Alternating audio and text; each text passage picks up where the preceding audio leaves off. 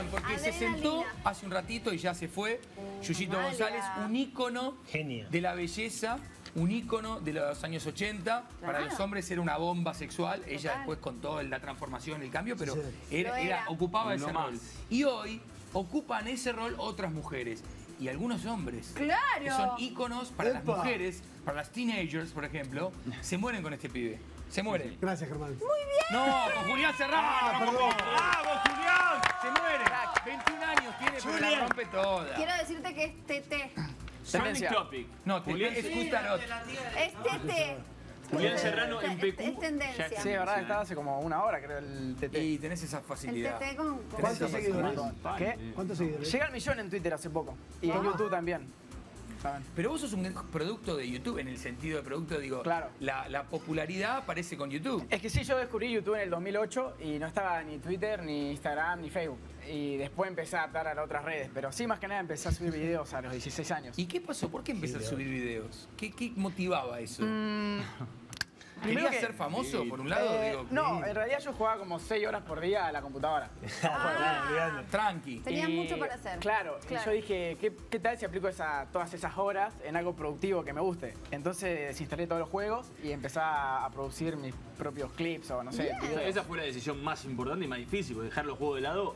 No, las carreras de mis compañeros creo que era lo más Claro. difícil. Porque imagínate que saco una red social ahora nueva y empecé a subir videos. eh, Pero ¿Y cómo eran para- esos videos? Yo no me acuerdo. No, yo tampoco. Pero... Claro, Eh, no los veía, pero sé que te hiciste conocido por los videos. no, es que los primeros eran medio random, ¿viste? Eran medio del underground. Em, ¿Decías barbaridades, no? sí, un montón. ¿En Mirá serio? Dos cosas. Una, acá tengo que no tus papás en un momento, cuando esto estalló, no entendían por qué la gente te saludaba o las chicas te felicitaban. Ya era famoso sin, Sí, sin fuimos una, serlo. eh, claro, fuimos a una vacación en Brasil y, y, o sea, los chicos de 15 años Ya, Conocían. conocían todos. Claro. En cambio, los padres, esos chicos, mis papás no entendían nada, pero. Cuando pero vos sí empezaste a hacer eso, ¿Qué ¿te- estás ¿tenías la conciencia de que podía llegar a tanta gente así de la nada? Porque la gente empezó a buscarte, como no, no- Mm. no sabían quién eras. Y era como mi sueño, era como si un. O si me hace pasar gratis a un boliche, metele. Claro. o a una. Eran objetivos chiquitos, claro, pero o me, superó todo. o me piden una foto en la calle, está bueno. Claro. O alguien se ríe. Pero no tenías idea que podía llegar No, tan para mí lejos. el máximo era 10.000 reproducciones por video. Y en un momento estalló todo y empezó a tener medio millón. Una locura. Pero internet de un día para el otro. Claro. Claro. Qué loco. Che, quiero que veamos Debía un poco esos videos Yo, en. YouTube Eh, que publicaba nuestro amigo Julio. a ¿Te arrepentís? Hace un tiempo. No, no sé si son tele- televisables. ¿cómo Y se seguramente si los elegimos se pueden ver. Por favor, adelante. La Friendzone es un lugar en el imaginario colectivo donde van todos los chicos que están enamorados de su amiga. O que para la chica el vago es su amigo. Para caso total mal ¿entendés? Cinco tips para nunca entrar o no salir de la Friendzone. Demostrar que tenés una vida. Eh, sí, ya sé que eh, eh, suena duro, suena duro, debe ser difícil para vos. Pero salí con tus amigos o, o a fingir que tenés amigos, no sé, salí a... qué. Demostrar que sos un hombre independiente, seguro. A las mujeres no les gustan los vagos inseguros porque por instinto siempre buscan restablecer. Dos, no hables nunca de su ex o de otros tipos con ella. Si estás con ella, habla de ella o de vos. O de los dos. A veces, chicos, la chica no se siente atraída por vos. Bueno, ¿qué va a hacer? No todos tenemos la suerte de, de- de ser yo. Pero lo que iba, me olvidé.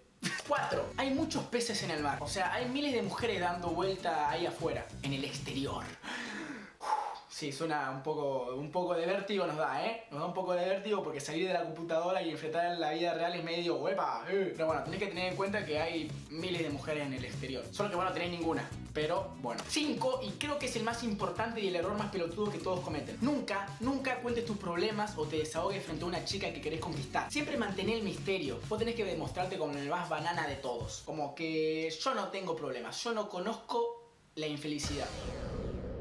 Ya sé, Anoté los cinco ya tips. sé de quién aprendió Marconi. Es tu ídolo, Marconi. Oh, Yo hago todo al revés, todo al revés. Lo sabía de La memoria. sabiduría de los Le contás todos nuevas- los problemas, ¿no? Eh, lo aprendí Yo, le quemo la cabeza. Vos a mí le contás todos los quilombos. Lo aprendí tropezándome.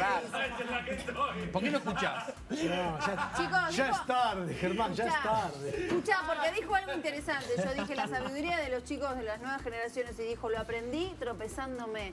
¿Muchas Claro. frustraciones tuviste en tu vida? ¿Cuál Entonces Marley vida? tiene que ser un genio. Claro. Estudiaba psicología también antes de estar en Aliados, estudiaba psicología en Paraná y me llamaron. Entonces siempre me gustó estudiar la mente humana en ese sentido. Y también por ver Bueno, acá tenés un espécimen que Sí. es digno de estudio. Pero perdón, mente humana, pero aparte Femenina. se te facilitó todo con esto. Obvio, totalmente. Era- lo digo, lo digo. Tiraba la red y No, primero que es un pibe fachero. Ya, Sí. arranca No, con- canchero, ya media adentro. Ya está. Y después encima tiene parla y Ya bueno, está. listo, Sí, olvidate. me ¿Cantás? parece que Eh, rapeo. ¿Tocas instrumento? Estoy aprendiendo, estaba por hacer una movida musical ahora. Ya está. Tipo, Perdón, pero Voy a grabar un videoclip ahora la semana que viene y después se va a estrenar, que es musical. Hoy a la noche está en otro video. ¿Manejas aviones? Wow. Y eso, manejo aviones. esto me llama la además atención. Vos que decir que Y, sí. ah, bueno, cocino, ¿Manejás aviones? eh, soy astronauta también. Oriana Sabatini, con la cual tenés una relación muy linda, ¿está mirando el programa en este momento? Sí, creo que sí. Está entonces en su no- casa no. cuando, Le mandamos un beso a Pues la yo, bomba obvio, esa. soy, bueno, Bueno, para- otra perdón. diosa. Gracias a Dios lo tiene Pero no puedo hablar de otras cosas porque él no quiero que ella se sienta mal. No, no, no. Pero le puedo tirar tres cositas que tienen que ver con Oriana. Por ejemplo, una, hay que conquistar a Oba, le llevaste una botella de whisky ya de entrada, medio de chupamedias. Y después bien, la familia se queja, me llamaron quejándose que comes aproximadamente 10 milanesas cada vez que vas. No. Podés Es que, es que. Katy es media efusiva en ese sentido. Me dice, come un poquito más, come un poquito Claro, más. Tenés como tres cosas para elegir y digo, bueno, bello. claro. Encima que estoy viviendo con dos amigos nomás, digo, ya que hay comida. Madraza. Sí, Una bolsa. Te quisiste hacer el canchero, imitando una escena de aliados, la llevaste a Oriana y casi la mataste. Cayeron los dos. No. Quedó medio golpeada. Eh, sí, claro. La no vimos me quiero ser canchero, eso sí está escrito. Pero tenía que rescatar de, de un Sí, tractor sí. y ir corriendo y sí, me caí. Eso lo vimos, vino cuando vino Oriana, lo vimos, ¿te acordás? Sí, sí, sí, pero no, fue un accidente, no, pobrecito. Bueno. Claro, es el video que estoy haciendo Este con la productora. video. Ahí está. Con Oriana. ¿Te gusta rapear entonces? ¿Es el típico de, música que te gusta? En realidad yo... ¿Tenías un naming en, en potencia? Eh, cuando empecé a subir los videos quería, quería hacer rap, pero yo dije, bueno, necesito un público para, para mostrarles mi música. Sí, mismo cuando estabas hablando había, no era rap, pero es un movimiento parecido en el video que vimos, por ejemplo, y también con el look. Es Sí, es verdad, sí, no me di cuenta. Puede ser. Una buena Mirá cómo canta ella también. ¿eh? Qué talentosa que es Oriana, chicos. Sí, muy bien. Le mandamos un ¿Sos celoso o no? Em, pasa que soy medio orgulloso, entonces cada vez que me pongo celoso no lo muestro nunca. Así, ni en pedo. Y... Pero no, no tanto. No tanto.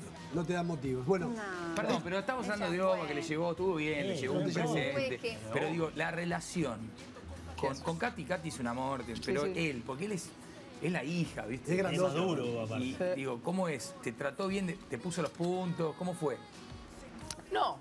En realidad eh, Lo me, trató, re- me trató re bien. O sea, porque mi hermana también está de novio, mi papá eh, Es más, duro, papá, es- tu papá más es duro. papá, Sí. que Oba. Así que buenísimo. Ah, y Oba bien, bien. entonces. Relajada. Bueno, pero igual uno lo ve a Oba y sabe que no se puede hacer el gracioso. pero no le das, un, por ejemplo, un beso adelante de él, no.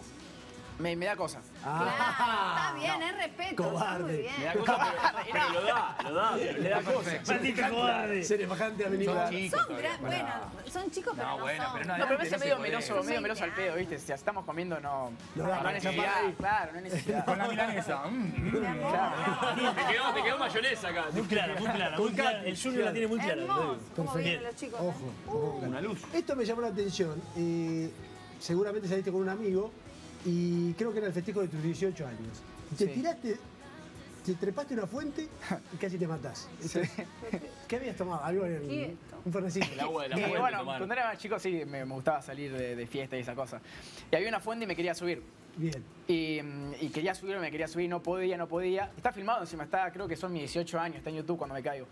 Y trato de atraparme y yo pensé que tenía algo para agarrar, si no tenía nada. Y me caigo y casi, o sea, decía que estaba un poquito tomado y no me dolió tanto, pero no me Ay, podía mover. Claro. Yo me acuerdo que me quería levantar del suelo y tenía toda la espalda paralizada.